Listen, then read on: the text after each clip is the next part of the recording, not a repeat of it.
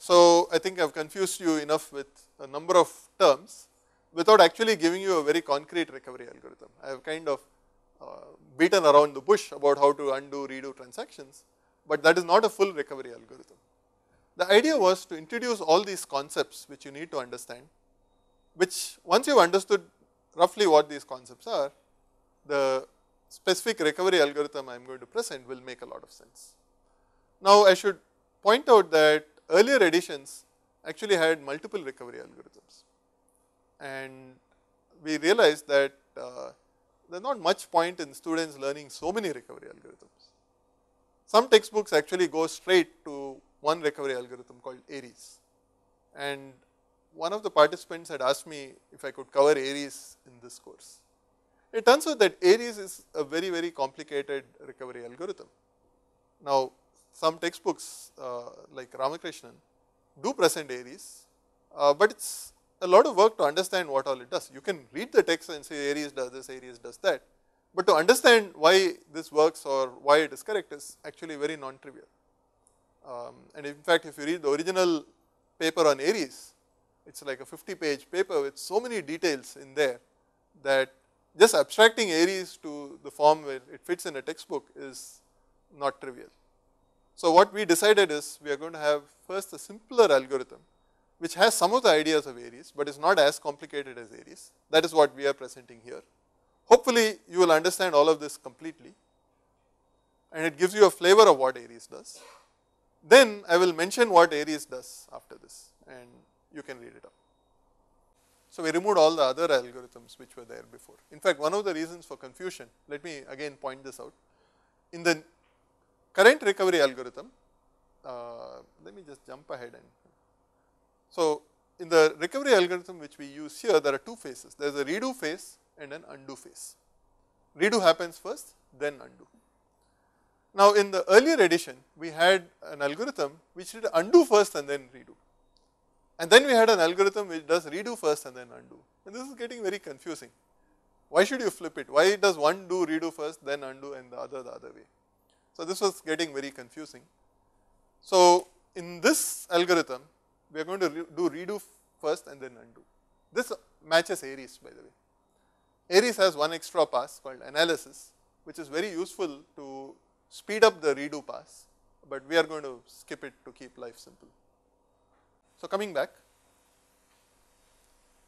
during normal execution, logging is done exactly as we described it. You write ti start, uh, then you write ti xj v1 v2 every time xj is updated, ti commit at the end.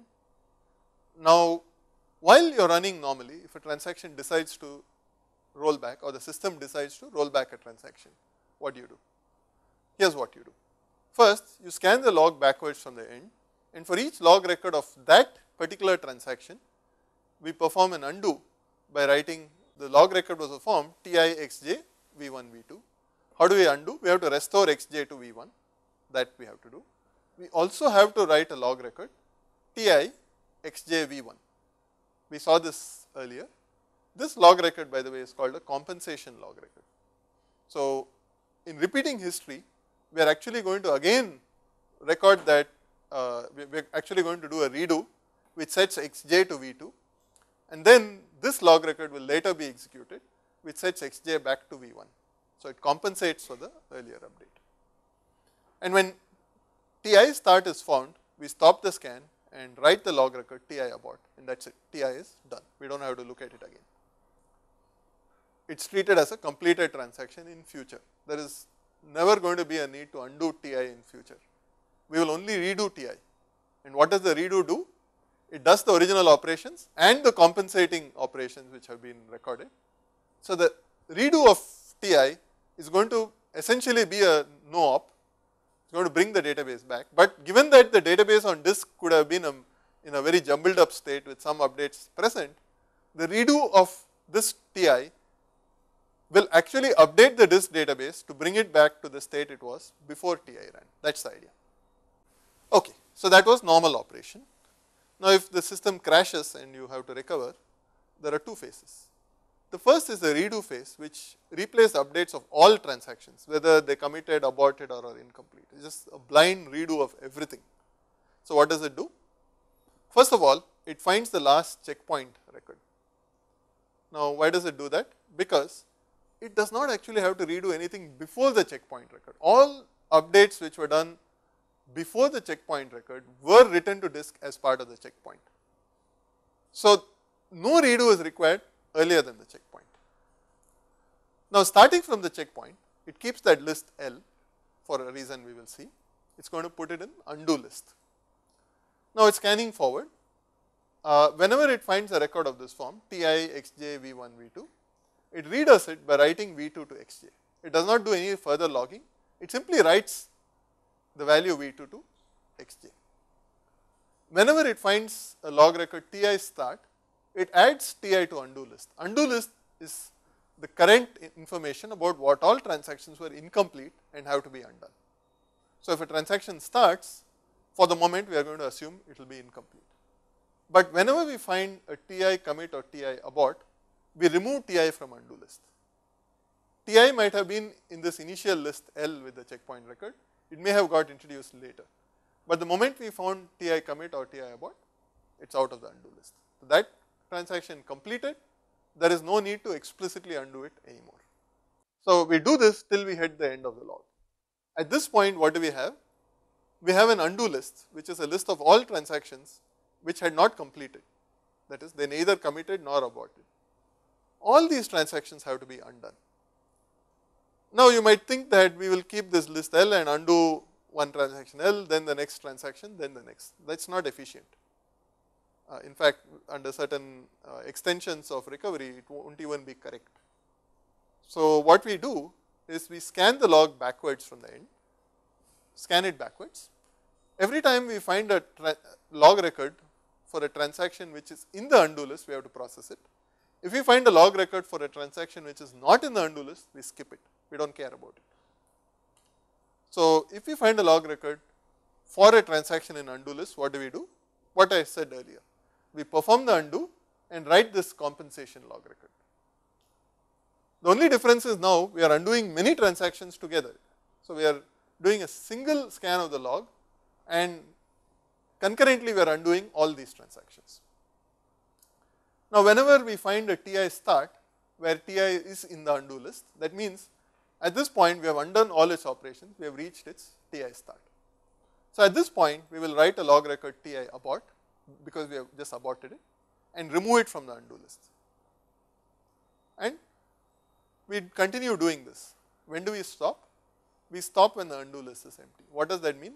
For all the transactions which were incomplete, we have now succeeded in performing the undo completely. We have written all the log records required for the undo we have written the TI aborts for all of them and we can stop. At this point recovery is complete and you can restart processing. As a small optimization many databases will perform a checkpoint just after this point and then allow transactions to run. So, that in short is our basic recovery algorithm. So, let me uh, illustrate it with an example. Um, we have a T naught start, T naught updated B to from 2000 to 2050, T1 started, then there was a checkpoint. The checkpoint had T0 and T1 because they were active. Then T1 updated C from 700 to 600, it committed. T2 started, set A from 500 to 400, T0 which was sleeping till now woke up again and up. now what happened? We decided to roll up, roll back T0. So, how do you roll back T naught? We are going to uh, set, see the only log record for T naught going back, the first log record is this one, T naught B 2000 2050. So, to roll it back, we are going to write 2000 back to B and write this log record T naught B 2000. Going further, we find T naught start, therefore, we are going to write out the log record T naught abort.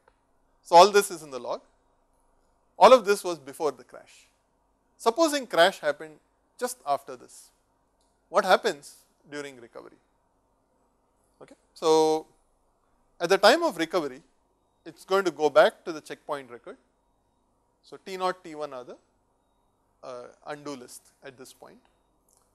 Then um, we are going to go forward and C will be set to 600 and T1 commits. Therefore, we remove T1 from the undo list. The undo list is now T naught. Um, then T2 start. So, T2 is added to the undo list. Continue on. T2 this action is redone. So, A is set to 400. Then this action T naught B 2000, B is set to 2000, T naught um, abort um, that is fine. At this point what do we have? We have finished all the redo and our undo list now consists of only T2 that is the only thing in our undo list. So, we will scan the log backwards and look for the records of T2. We find this one uh, A updated from 500 to 400. So, it is going to set A back to 500 and write this log record T2 A 500. Then it finds T2 start, it is going to write T2 abort, undo list is then uh, T2 is removed from the undo list, undo list empty, recovery ends. So, note redo pass starts from the checkpoint goes forward and undo pass starts from the end of the log keeps going till it the undo list is empty which is at this point and it stops. Since we are out of time, I am going to tell you what more is in here, but I am not actually going to cover all these topics. So, I am just going to introduce the uh, titles of these slides. The first slide is on buffering log records, which means you can postpone writing it to disk um, immediately, you can write it later. The second slide is also on the same topic. Uh, the only extra thing in this slide is something called write ahead logging, which means if you postpone writing a log record, you can't postpone it forever. You have to write it to disk at some point. When do you write it? First of all, you have to write it if the transaction commits, but moreover, even if the transaction is not committed, if ever you output a modified buffer block to disk, any log record relevant to that block has to be output to disk first. That means before you output an, any actual update, the log has to be written first. So, that is called write ahead logging. So, if you see the term write ahead logging anywhere, it is a very simple concept. It means you have an updated buffer block, you have logs corresponding to that update. Before you write this block, you have to write the log records. Why? Because if the transaction has not committed, you have to be able to undo it. If you wrote the block to disk without writing the log records, your disk does not have enough information to recover. But if you write the log records first, the undo information is there, so you can undo this. That is the idea. Uh, there is also a fair amount of stuff on how the database buffer works, uh, buffer management. Again, for lack of time, I am going to skip all of this. Then there is some stuff on fuzzy checkpointing.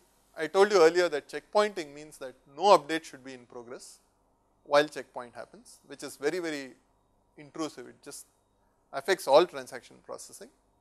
So, in reality what systems use is a form of checkpointing called fuzzy checkpointing. Again I am going to skip the details. There is yet another topic which deals with what if the disk fails. So, then you will have to periodically dump the database. Now, first of all with RAID systems disk failure is rare, but supposing it may happen, um, we have to be prepared to recover in which case we dump a copy of the database, dump the log records all the time and we can recover from it. I am going to skip the details. Then uh, the next topic is, so far we assumed strict two phase locking, but I already told you that certain data structures um, are not actually locked in two phase manner. So the problem is what about updates to those data structures. If they are not locked in two phase manner, by data structures I mean disk data structures like B trees and so on, B plus trees. If you are going to release locks early, the recovery mechanism we have described so far will not work because it depends on strict two phase locking. It turns out there are some tricks which we can use based on something called logical undo logging. And by using that, we can allow certain types of locks to be released early uh, and still guarantee that recovery will work. There are a lot of details here and I am not going to cover it here, but the there is a whole section of the book which deals first with why do we need early lock release and how do we modify the recovery algorithm we have seen so far, how do we modify it to allow early lock release. A fundamental concept here is a notion of operation logging as opposed to physical updates. These are operations. What is an operation? An insert into a B tree is logged. How do you undo an insert? By doing a delete. So, it is a what is called a logical undo as opposed to undo by restoring the old value. So, there is a lot of stuff in the book on that, we are going to skip it. And the last but one part of the chapter is on the Aries recovery algorithm, which is a famous and widely used algorithm. The Aries algorithm was uh, developed over many years at IBM and one of the key people involved in developing it is a person called uh, Dr. C. Mohan. Uh, he is very famous for this and um, the Aries algorithm has a huge bunch of optimizations which can speed up recovery tremendously. For example, um, in our redo algorithm, everything which was done is redone. Now, many of those things might have been written to disk already. So, Aries can track what pages were written in between checkpoints also and avoid redoing in many cases. Aries supports a form of logging called physiological redo, which can reduce the logging overheads greatly for certain operations. For example, a page can have variable length records. If you delete a record, you want to compact all the remaining records in the page. That requires a lot of logging. Aries has some tricks which reduces the logging. Uh, Aries supports high concurrency for index updates, number of other features. So, that is the reason it is very widely used. So, whatever we described is a greatly simplified form of Aries. So, we basically omitted all those optimizations which Aries does to keep life simple. But once you have understood the concept of repeating history from here, if you read the Aries algorithm, the rest of it makes sense. So, in our book, we do describe the Aries algorithm. So, if you are interested, go read it. Uh, somebody asked me to cover Aries in this course, which brings up an interesting question. So, um, there was a panel discussion in some uh, SIGMOD conference many years ago, which was titled uh, how many Mohans does the world need? Okay, so what does that mean? Why, why should the world need fewer Mohans or more Mohans? Well, the reference was to C. Mohan who invented Aries and the question which the panel was discussing is how, how many people really need to understand recovery in detail? To the level of detail that Mohan understands recovery, how many people need to know it? Well, there are many, every database system needs many people who understand recovery to that level. Um, but outside of that, you have you know 5, 6 major vendors and then uh, 3 or 4 major open source projects. Then maybe 50 people in the world need to understand recovery and that is it nobody else needs to understand it. Well, that was what people were loosely saying, but in reality here is what I would say. It is enough if 50 to 100 people in the world, 50 is not enough, there are others who worked on extensions. Maybe a few hundred people in the world need to understand Aries in full detail. Probably another a few thousand need to understand Aries to some extent because uh, their system is doing Aries recovery and if they want to um, tune it or do whatever, they need to understand what Aries does. The vast majority of the people who take database courses do not really need to understand Aries. However, it is very important they understand what is recovery. They need to understand what, why is recovery an issue. Otherwise, they cannot appreciate what is going on in a database. They will not understand why, is, why does this database maintain a redo log what is archive logging, what is this, what is that, they will not understand it. So, pretty much anyone who ever will use a database or manage a database uh, needs to have some idea of what is recovery. So, what we have covered so far is some elementary stuff which every student needs to know and I believe this should be in the syllabus of any database course. But more uh, gory details of uh, Aries and logical undo logging and so on are probably not required for everybody else. So, if you are interested by all means read those chapters, uh, but it should not be in any syllabus if you ask me, uh, any basic syllabus. Okay. The last topic for today before I go back to the quiz is on remote backup systems. This is a slight uh, digression, it is no longer Aries. What we are doing is, uh, again I am going to skip this and go over it very fast. But the idea is, I have been mentioning this many times, if you have a disaster, you better have a copy of your data somewhere else, far away, so that this disaster will not affect those guys. So, this is shown here uh, pictorially. There is a primary site with data and log records, there is a network and then there is a backup. So, the database is backed up to the backup system initially, then all logs which are written here are sent over the network to the backup, so that the backup can apply the log records and recover whenever required. So, any high availability system, these are very widely used. Every critical installation of a database, banks, financial firms, you name it, everybody today has to have high availability with a remote backup, that is mandatory.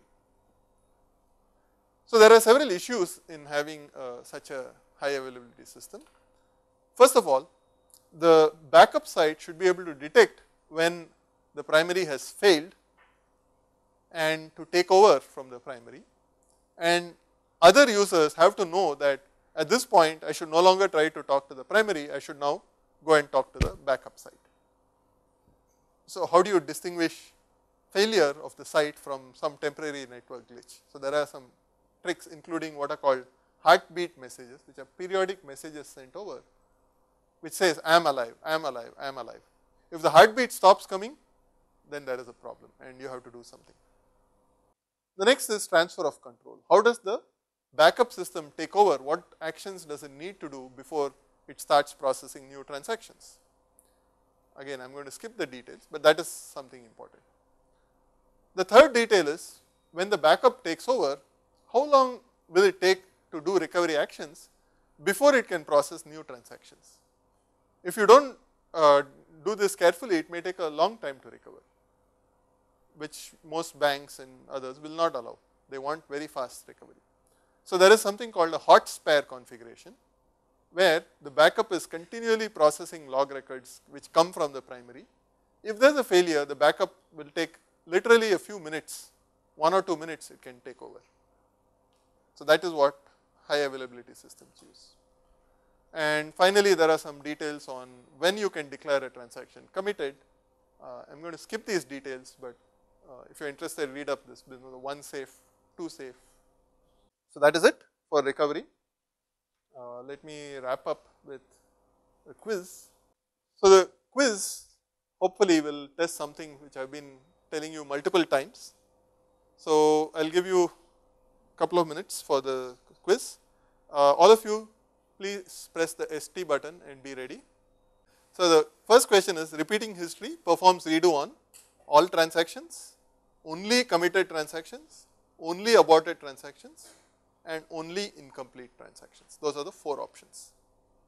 So, pick the right answer, do not answer yet, press the ST button, I hope all of you have pressed it, wait a few seconds for your local server to receive the sync from here Okay. hopefully now all the local servers are active. So, please go ahead and choose the option for the first question and time is up. So, as I have been saying uh, several times during today's lecture, repeating history means you redo everything. So, it has to redo all transactions whether they committed, aborted or are incomplete every action that they did earlier starting from the checkpoint is redone that is part of repeating history. Uh, quite a few centers have not responded, let us see the response rate. Only 93 responses, a new low and aha, the winner according to the audience is option 2 which is only committed transactions. Now, if you are familiar with the earlier recovery algorithms which were there in the book before, redo is done only for committed transactions, undo is done for failed transactions. But repeating history is different. Repeating history means everything is repeated, whether it was committed, aborted or incomplete, everything is redone in the redo phase. So, that was the first question. Okay. Now, be prepared for the second question, press your ST button and let us see the question. Repeating history performs undo on the four choices are the same as before, all transactions, committed, aborted and incomplete.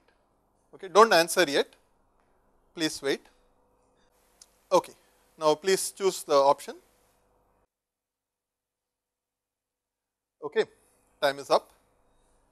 Now, a very tempting answer is to say that undo has to be performed on aborted transactions, but as I explained, aborted means the abort is done, it is all over and we have written those compensating log records. So, there is no need to perform undo anymore. The redo already has the information which is required to undo it. So, the undo processing is only applied to incomplete transactions. Of course, it does not make sense to undo committed transactions.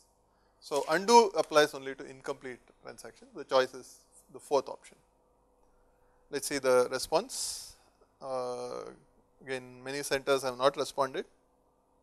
So, this time we have 118 responses, a little bit better. Let us see what people have said.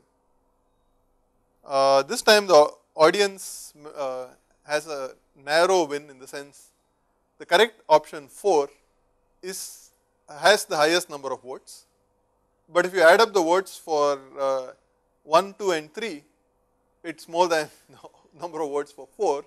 So, audience not good.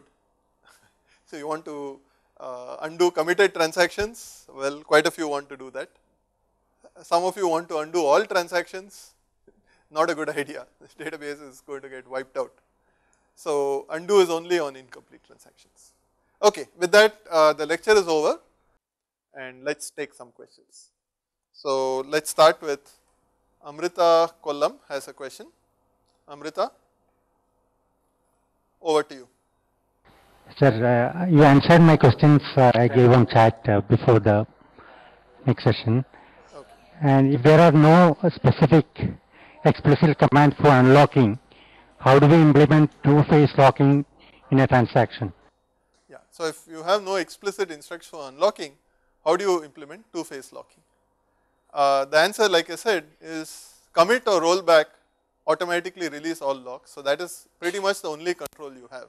In other words, there is no way for you to in most database systems to control this, it is all up to the database system.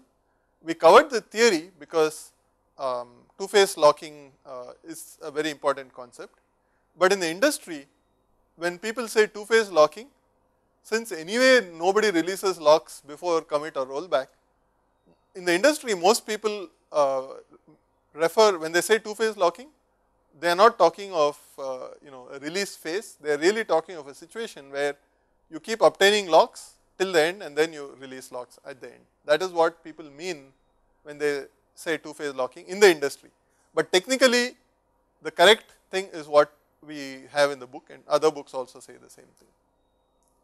Okay, so if you are asked in exam what is two phase locking, well what is in the book is technically correct. If you see what people in industry are saying, they probably mean rigorous two phase locking. Okay, I hope that answered your question. So that means uh, the shrinking phase in the two phase is just limited to the commit statement or the rollback. Exactly, that is precisely right. Uh, the shrinking phase is exactly when uh, commit or rollback happens and everything is released at one go. I have one more question sir. So what happens uh, if there is a failure during the checkpointing? before writing the data blocks to the disk, but after writing the log file to the disk? Okay, that is a good question. Uh, what happens if during checkpointing a failure occurs? So, one way to deal with it is with a basic checkpointing algorithm, you first have to stop all updates to disk blocks, then write them all to disk to buffer blocks. I mean, you stop all updates on buffer blocks, write everything to disk and only after that you write a checkpoint record that will deal with this. But like I said uh, this is true intrusive. So real systems do not do this, they implement fuzzy checkpointing where they actually write out a checkpoint begin log record, then perform the checkpoint and then write out a checkpoint end log record in effect. Or there are some optimizations which if you read a book, the way they keep track of it is they uh, keep track of which are the last completed checkpoint, they write out the log record, then start writing out the disk blocks one at a time and in the end they say now this checkpoint is completed. If that thing which says this checkpoint is completed is not there, it should be treated as an incomplete checkpoint. In fact, the Aries recovery algorithm does something even more clever. What it does is, its checkpoints actually do not do uh, write out any blocks. Aries continuously keeps writing out blocks in the background. In fact, all databases do that. They keep writing blocks in the background. Even if whatever recovery algorithm they use, they will be writing out updated buffer blocks all the time.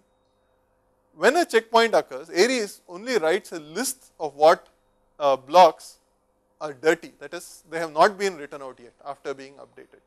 And using this information, Aries is able to do uh, handle recovery correctly without even writing out blocks at that point. But since I did not cover Aries, I will skip the details. But I hope that answers your question. Okay, so one more last question. Okay. And uh, does a database support uh, multiple concurrency control protocol, protocols like two-phase timestamp based and validation based or only implement only one of them? That is a very good question. Uh, can a database support multiple concurrency control mechanisms all within the same database? Uh, actually, you can't arbitrarily mix different concurrency control mechanisms. You know, if uh, one guy is getting a lock, the other is using timestamps, they may conflict on an item and you will never detect it. So, you cannot actually mix these up within a single database. Um, there has been some work on uh, you know one transaction using snapshot isolation while another transaction uses locking um, while you know there are some tricks involved here. Uh, if you understand how snapshot isolation is implemented, you can have some variations where um, some transactions can do things slightly different. But the only variant which is actually supported widely is the following. One transaction can run in serializable mode while another runs in read committed mode. Now, the uh, transaction which runs in read committed mode may mess up serializability, but if you have 5 transactions which all run in serializable mode, between them they should be serializable, even if another one runs in uh, non-serializable mode. So, that control is provided, but not completely changing the uh, concurrency control algorithm that is not supported by anybody. Okay. Any other question?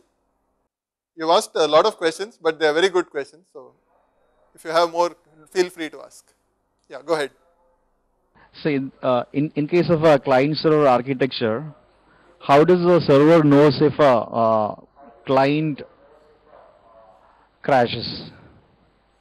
For example, if uh, client has given a uh, submitted a query to the server and afterwards uh, if uh, client crashes, how does the server manages it? So, that is a good question. In a client server mode, if a client crashes, how does the server detect it? The way it is done is usually, uh, you know, the connection is over a network connection, TCP IP. And if the server detects that that connection is broken, it, it keeps track of what transactions were active from that connection. And so, if the connection breaks, then it assumes that the client is gone and it will roll back uh, whatever transaction is active on that connection. Uh, so, that a fairly straightforward thing to do and as far as I know that is all that databases do. If you have other situations like the remote backup then it is slightly different because there uh, somebody taking over is a major operation. If somebody takes over while uh, the original one is still alive, think of this uh, in the old royalty days, the king is dead, long live the king, right? You must have heard that phrase. So, the original king better be dead. If the new king said the original king is dead and said I am king and the original king is also alive, they are going to have a fight. So, that situation should not arise. So, there it is more complicated. In the simple client server case, it is not a big deal. Any other questions? No sir, thanks. Let us go to some other side. Warangal, you have a question? Please go ahead. Uh, that is about uh, uh, log records. Uh, we are uh, uh, right, storing the log records in the disk and why don't we right away write the original rec records that are updated uh, rather than uh, writing it them into log records and again them uh, following the write ahead log protocol. Thank you. That was a very good question. The question was uh, when you uh, write a log record, you are writing the log record and you are writing the original record at some point. Instead of doing that, why don't you write the updated record directly instead of wasting your time writing the log record. Uh, so, there is a two part answer to this question. First of all, the log record is required in case uh, rollback happens. So, it is not enough to write the original record. But then you can say the log record only needs the undo information, no need for redo. In fact, that can be done.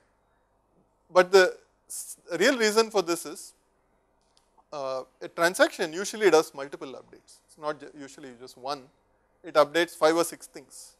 So, if you have to write out all those 5 or 6 things, every transaction will have multiple IOs. Now, at least as long as our databases stay on magnetic disk, this is an issue. Maybe with flash, it won't be as important. But think of it this way, if you have to write 5 different blocks, that is 5 IOs. But the log records for all these 5 updates can go into one single log block and if you write out that one log block, if you output it, you are done, the transaction is committed. so, you can commit a transaction very fast here in, in one fifth of the time required to commit the transaction in the other case. In fact, it is much better than one fifth for various reasons I will not get into. The log disk is written sequentially, its delays is much less and so uh, by using logging you can uh, release logs very fast. The moment a transaction has finished its updates all its logs can be released very quickly.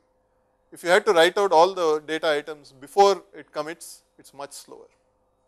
Okay, so that is the real reason. There is one other reason um, for certain data items which are frequently updated by many transactions.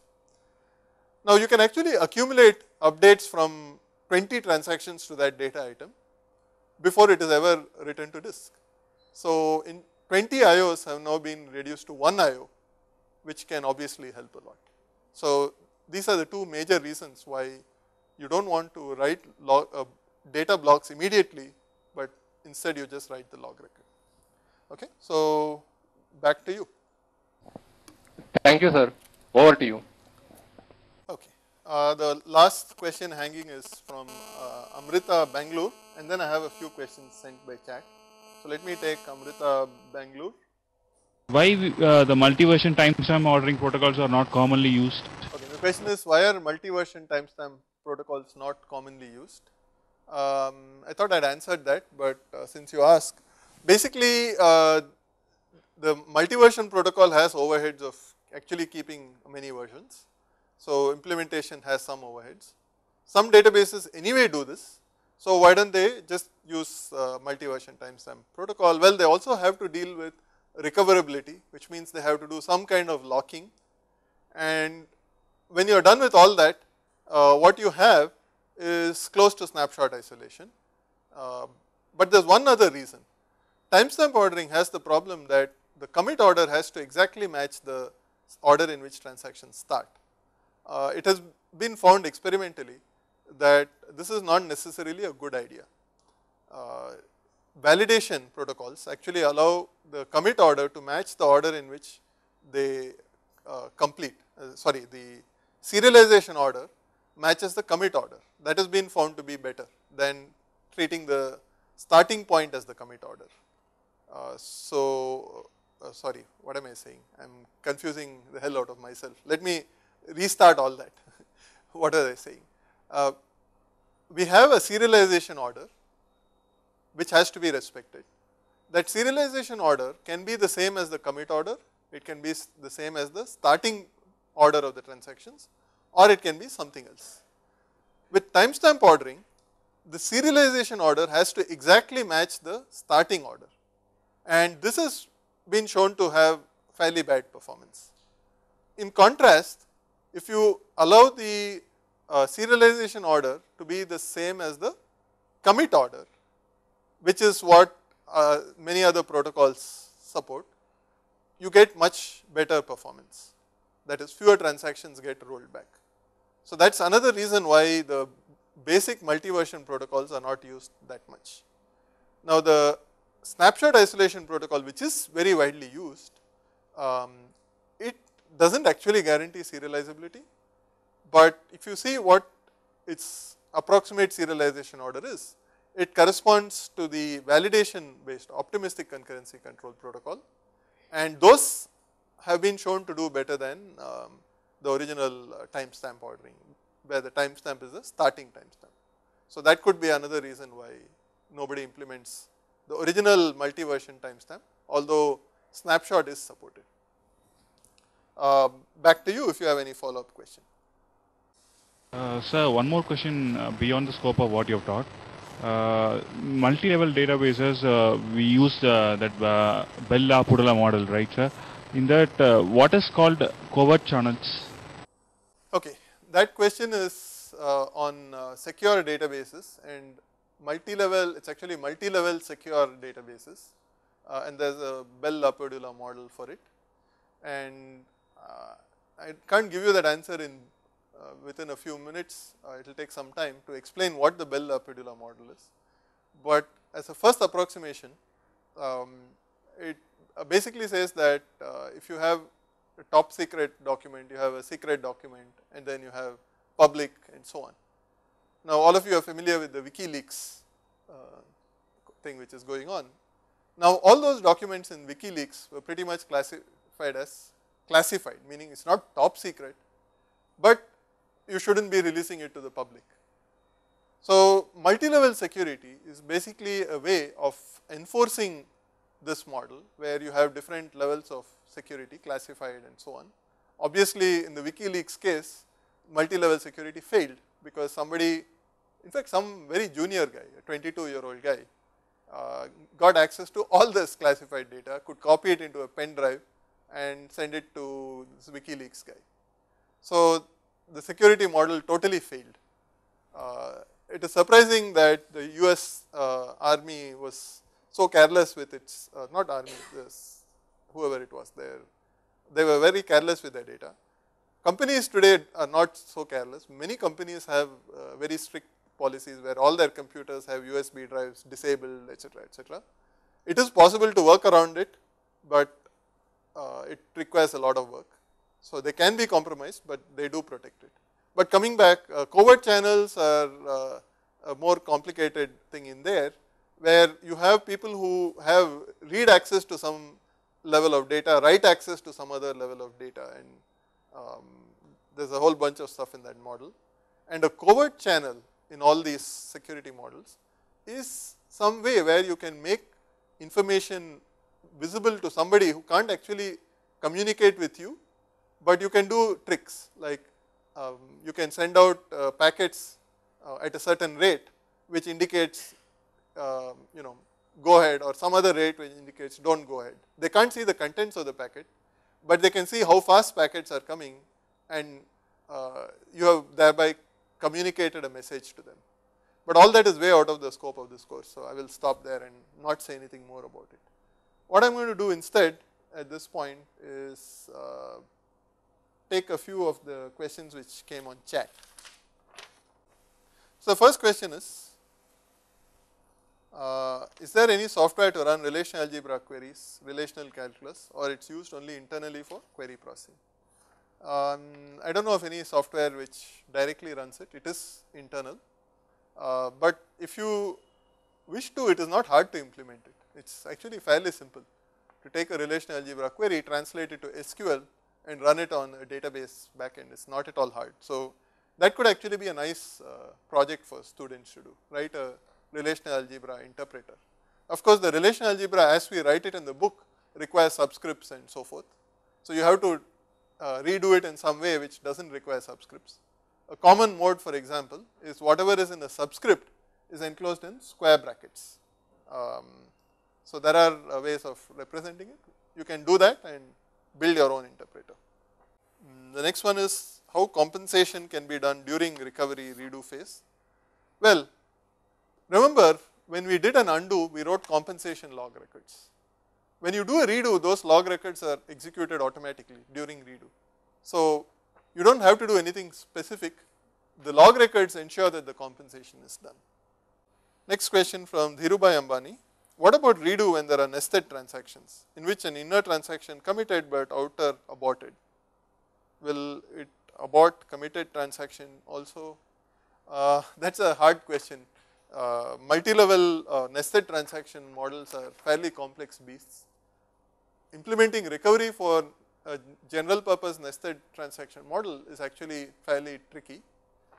If you look at our recovery algorithm in the book, the one which deals with early lock release, it is a special case where you have two levels. It is a not a arbitrarily nested, but outer level and inner level transaction. The logical operations can be thought of as inner level operations and that will answer your question with respect to uh, two levels of nesting. So, I won't answer it fully, but say go read the stuff on uh, logical undo. Think of the logical operations as the nested operations and that will partly answer your question, but not fully. Goodbye.